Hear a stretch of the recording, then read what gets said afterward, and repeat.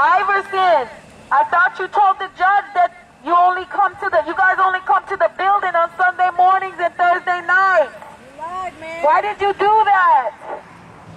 Why would you do that? Did you lie? You lied because Denis told you to?